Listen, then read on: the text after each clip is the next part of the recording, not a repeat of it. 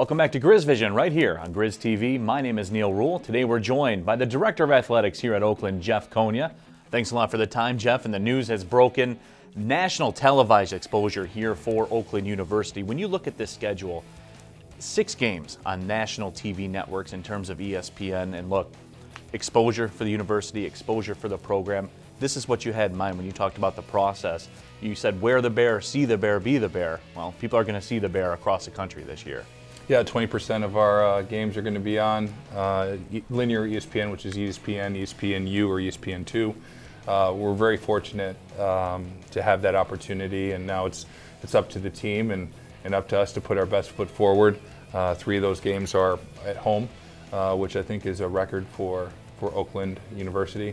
And uh, we're really looking forward to this year and this team and what we're able to do.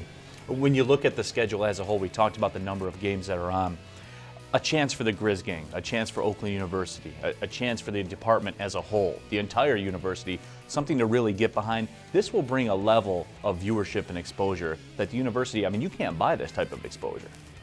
You could, it might cost a lot, but uh, uh, no, you're right. I mean, we, from the first day when we met with the student organizations and, and told them to help us in the process of investing in our product and the elements that they can control and and what a great job that our band and our spirit and cheer and dance do and, and our fans and to, for them to be engaged and you know establishing rivalries uh, and these kind of things have really led to uh, an opportunity to get visible and get our, our brand out and, and for yeah, I, I, don't think it's by happenstance that this has happened. Um, I do think that when, when folks see Oakland University or exposed to it uh, and the energy and the crowd and that environment um, you know, speaks to people, and I think it comes off well on television. And with some of the improvements we've made this year relative to the, the look of the court being very unique in the marketplace, uh, the investment with a superior lighting system, uh, professional lighting system, uh, and with our sound enhancements, you know, we're, we're really going to relish this opportunity, but we're really going to be able to showcase all the good that we have to offer. And hopefully this is just a tipping point to say, you know, this is, we've arrived and, and we need more of these kind of opportunities. That was something that was important to you, and you've stressed that from day one when you walked on the scene here at Oakland. The game day experience, everything that goes on at the game. That plays a part in all this, doesn't it? You talked about the lighting, you talked about the court, but those are all the things. When you package it all together, it's going to make for one heck of a game day experience. It is, and this is where we really need to rely on, you know, our fans and uh, the, the community at large to uh, you know, be vocal and be boisterous and, and to have pride and, and wear the bear and, and really to be a bear. I mean, to, to be loud and, and proud uh, during these opportunities uh, on television because as you know, uh, you can pick up on energy. Energy is transferable.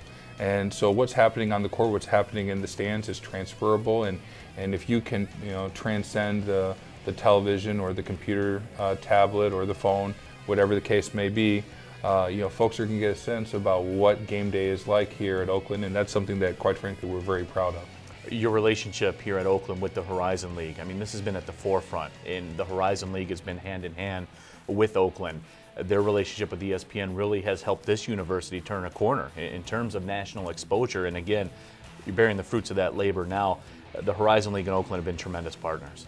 Well, the Horizon League was on the cutting edge of all of this. Uh, uh, this opportunity to get content in the hands of, uh, of a lot of folks, uh, starting the Horizon League Network a few years ago. Uh, and I think it really spoke during the transition and why the Horizon League was so appealing to Oakland University because, uh, you know, at one level, and I'm, I'm, sure the thought process was that this was an organization that could really enhance because they are kind of uh, trendsetters in terms of this content delivery mechanism.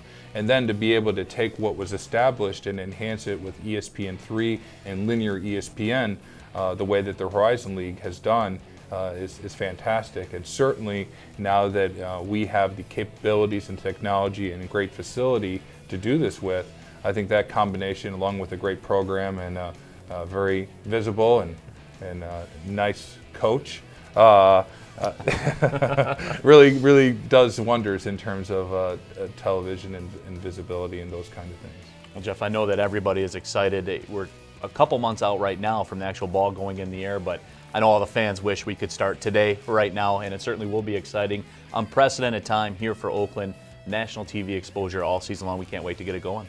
Well, yeah, and, and based off of the Spain experience, uh, you know, Coach Kampe and, and the rest of the staff, uh, you know, have really done uh, great work with, with bringing quality individuals into the program, and I can't stress that enough. I'm really proud of our student athletes, how they represented themselves, and that is a testament to the coaching staff. And um, you know, I, I'm excited based off of the limited uh, uh, play that I saw over across the pond, but. Uh, I think we're in for a real treat this year, and uh, again, we're asking for all of the Oakland Golden Grizzly Nation to rise up and aspire to be something tremendous, Uh, especially with our national television opportunities. Thank you very much for the time, Jeff. Appreciate it. You got it.